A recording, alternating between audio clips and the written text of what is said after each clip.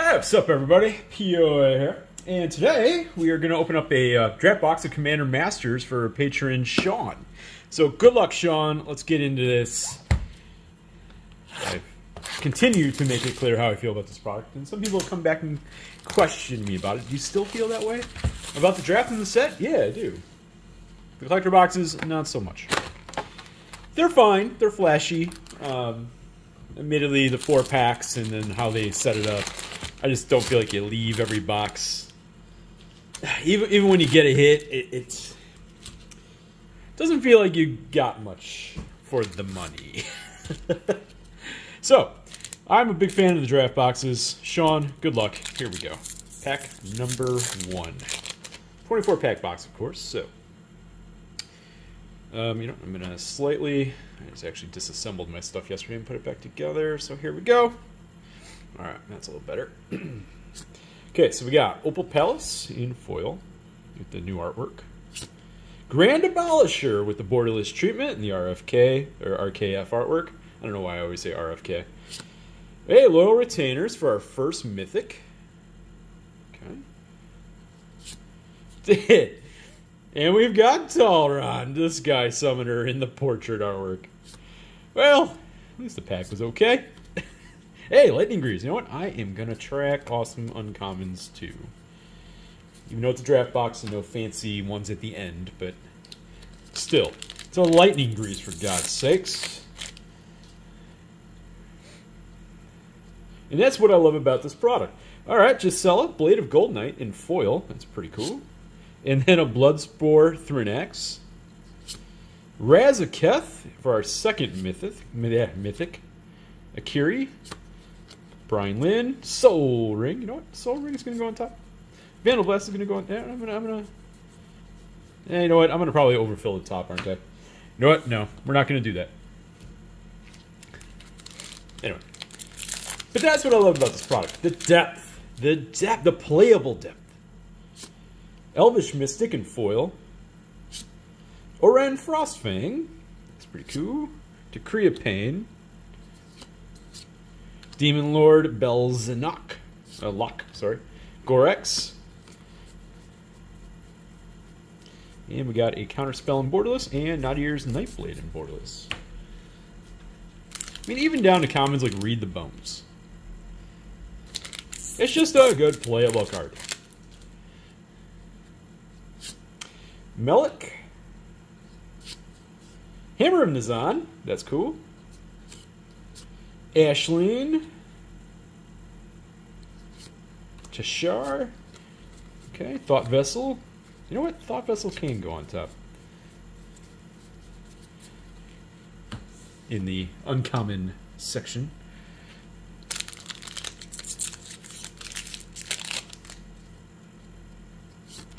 We got Beanstalk Giant. Undergrowth Stadium. Love to see it.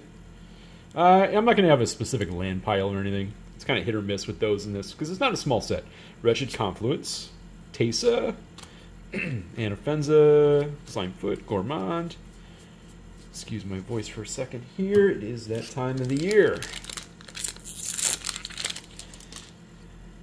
I think we just actually had record lows last night. Okay, we got Deep Analysis. Emerald friggin' Medallion, baby. That's a good start in the rares. Uh, Obnix. Zada, Kella, Eternal Witness, Fellwar Stone. Eternal Witness is so cheap right now to get. Yes, yes, they took the value out of that card. That that did happen. Okay, next pack. Ram through. Righteous Confluence. Miri. Captain Ripley Vance. Mowu. Okay. All right. All right. Last pack of the first row. So we still have a whole bunch of mythics ahead of us. We still have a whole bunch of good rares ahead of us. We have a lot of packs left. So, body double, Verdant Confluence, and Mikaeus, the Unhallowed, solid mythic. Alharu, Ashnod's Altar. Oh, Exsanguinate and Borderless. There we go. Sky Shroud Claim. it just doesn't stop. Seriously, buy one of these draft boxes and you've got deck staples for especially especially if you're like some of us, or maybe we build too many decks. and then we don't disassemble ones. It takes a lot to disassemble a deck. Gorex and foil. Ah, Sapphire Medallion. Even better. Okay. And Sekar, or Sekar, I don't know. Goreclaw, which is eh, Tatyova in the... That one I like. Extinguish All Hope. What's this back here? Elvish Mystic. Cool, cool. So we have three mythics. These do average between six to seven mythics a box. And hopefully... Well, I'm not going to say it out loud. Here we go. Flawless Maneuver. All right. Mind's Aglow. Ah, Zusa. Good to see you. Vertaloth. You know what? I'm gonna I'm gonna mark Azusa up. She's gonna go into this pile. Not that it matters. It's arbitrary. I don't know exactly where it's sitting right now at this very moment. I kind of don't care either. That's kind of where I'm at with this product. Bonder's Ornament, Hellkite Charger, Yasan, Molimo. Hey, Reliquary Tower, and I think it's awesome looking artwork. And Commander Sphere.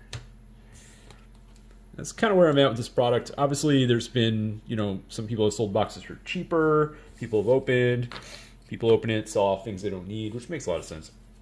So right now, I do not care what the card prices are. The combination between, yes, some overprinting realities, and then part two is the current economic climate, and then people getting out of these boxes, which makes sense. All that makes sense. Has made some of the cards you know cheaper, like Azusa there. So if you needed a Azusa copy, I'm not going to say it's definitely time, but it seems like it's time. Stormkiln Artist in foil. Ah, Jet Medallion. Hey, wow. oh my God, that's a pack. That is a freaking pack, baby. Okay, we got the Cyclonic Rift uh, with the Jet Medallion in the same pack. And then we got Braids. Oh, if that was a hit, that would have been one of the best rare packs I've ever opened. Another Sky Shark Claim. Resculpt is a card I personally love. I just like things that take care of things, right? Exile. That's, that's the way to go. Read the bones in foil. Oh! oh, Sean. Jeweled friggin' Lotus. Yeah, you know, we start out with Loyal Retainers and Razaketh, who, you know, they're not bad. They're, they're okay mythics, but they're definitely kind of in the lower tier of mythics in this product. Mikaeus is kind of in that mid tier. And then we get, like, the best of the best. Oh, goody. Zacama? I'm amazed how much Zacama's price didn't completely die. I, I thought it was going to die. I don't know if that speaks more to the popularity or the power of the card, or a little bit of both. Padim, Darksteel Mutation. Generous Gift, I feel like I don't really like to... Because of Stroke of Midnight that just came out. Um, I, I, you know, I used to like Generous Gift, and then Stroke of Midnight comes out. It's like, well, that seems almost almost strictly better. It's not. They're, they're, they're a little different, but feels like it. Okay, Sean, what do you think so far, huh? Not bad. Not, not too bad. Not too bad. All right, let's continue. Kaho. Ogre Slumlord. Frailes. Sherry. Path to Exile. Feed the Swarm. Okay. And, you know, I just keep saying little staple cards, right? As you go through them, there's just certain cards that can be added to so many different decks in your in your filler spots to to do things you need to do. Gutter Snipe, Wayward Swordtooth. You know, I don't know if this card held on at all. I I I seriously haven't looked. I am going to put it on top over here though. Lorthos, the Tide Maker, Isareth. I love Assault Suit.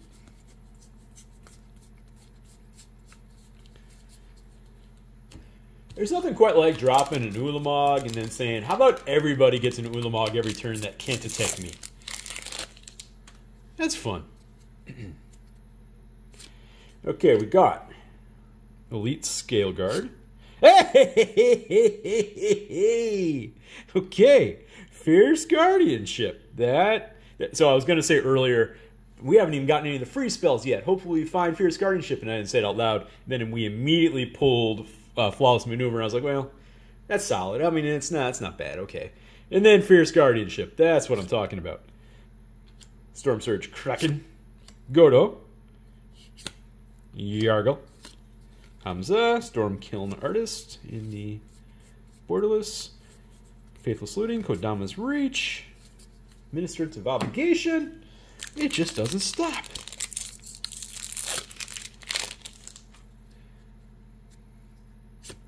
Deranged Assistant. Champion's Helm. Okay. Maelstrom Wanderer. Baird. Namata. Another Path. Sky Shot Claim, which is Cauldron. Okay. So what do we got left here? We got seven packs. We should have at least two more mythics to go. We've done very well so far in the higher end rares. Zada. Hey, Obscuring Haze. Okay. Obscuring Haze, at least it's in the Awesome Azusa treatment. Galtha. Loshil, Yahenni. I'm glad they I'm glad they uh downshifted Yahenni. Even though, yes, literally last year they released that as a rare in Double Masters 2022. Turn Dust. Reality Shift, but at least they in this product they didn't make it a rare yet again. because it became a bulk rare um, in Double Masters 2022.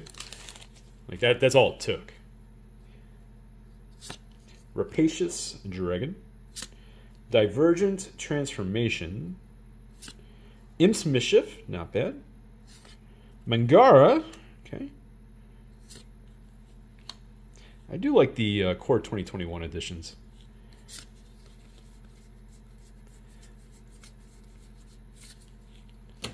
Okay, so Sean, what you think so far? Pretty good. You didn't really say if there's any card, specific card you're after. Hunter's Insight. He was just looking, I think he was really just looking for a bunch of playables. Grand Abolisher times two. Sevinne's Reclamation. And Selvala. Hey, that's cool. Always a good mythic. As long as, you know, they don't print it back to back to back to back to back to back.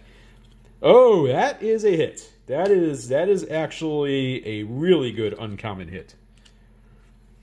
Then we got Loyal Apprentice, always good. The Thraben Inspector. And Dread Return. Okay. Selvala, I feel like, so when this set came out, Savala dropped to like six or seven bucks, and I'm pretty sure it's back up over 10 now. Because it's just such a, not, it's not even necessarily needed as a commander. It's just useful in big decks. Mirror Smith, big creature decks. Avatar of Slaughter. Mizzix. I'm really glad they did not put him as a mythic again. Melek. Melekihai Mekahani Ho. What's this back here? And the command tower that actually has value as a common. Why? Because the artwork's awesome. And people play with that card. And even having value, it's still not like obscene. So people are like, you know what? That's worth a couple bucks for me to upgrade in my deck. Tragic Slip. Commandeer, which has gone up to, I don't know, I don't even know what it's at right now. I know it went up Seen lots of what modern play, I think. Again, so that's uh, what I know it's somewhere between six and twelve dollars. I don't know where it is in that spectrum. Either way, that is a really good hit. Okay, we got Wrinkle Master Prinkle, Zahid, Zahid. Campfire. Campfire, it's, it's not great. It's just a, it's a pet card of mine. Okay, so Sean, two packs left. You should have one more mythic to go. Let's see if we can get another rare, a big rare hit too. Portal Mage, Personal Tutor, good hit. Sakiko, Subira, Bastion of Remembrance. All right, last pack, Sean. This is definitely a pretty good box. Pretty, pretty good. Only one land though. That's that's again. I, I, did state that it's a big set, which is why I can't really make a singular land column because um, you know set this big that that can happen. So, are we gonna get shafted a mythic here? Eh, I shouldn't even call that. I shouldn't even say that that's what it would be.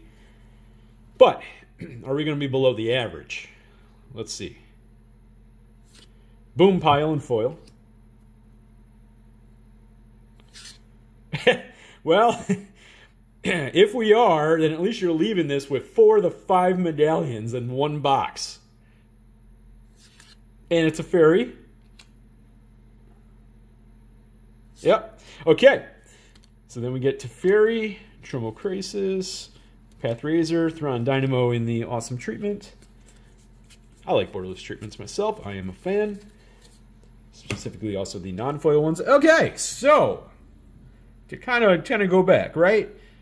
So Jeweled Lotus, Zavala and Mikaeus uh, are solid. Yeah, Razaketh's a little lower, Royal Retainer is a little lower, but they're not they're not bulk mythics. So the mythics, because Jeweled Lotus did all right. Then this column here, that's that's that's a big column for one of these boxes. That's huge. When you hit on the rares in this product, like this this can be a little bit of a mythic heavy set. It's also a really big set, but you, you killed it in the rares here. Just absolutely phenomenal, phenomenal assortment of cards. So I'm going to go ahead and end the video. Sean, thank you very much for allowing me to open this for you. All the cards will be packed up and shipped out. Um, I hope you got some things inside this box uh, that you will put to good use. Let me know what those are too. Um, you know, because everybody's got different play styles or different ways they, different colors or different preferences to their builds, right? So what is one really good card to one person is not a really good card to another person, just based off the the, tend, the way they, they, they tend to do things. Um, so I'm always intrigued by that, right? Because there's cards that I personally would never touch. I know they're good, but I would never touch those cards. And there's other cards that I like want to almost put in every deck, but then some other person doesn't want anything to do with that card. That's kind of the fun of what this game's become. It's kind of the fun of Commander, frankly. You know, building building it based off the things that you like to do and making it work. That's this is the fun part of MTG, people. It's the fun part. Thanks for watching.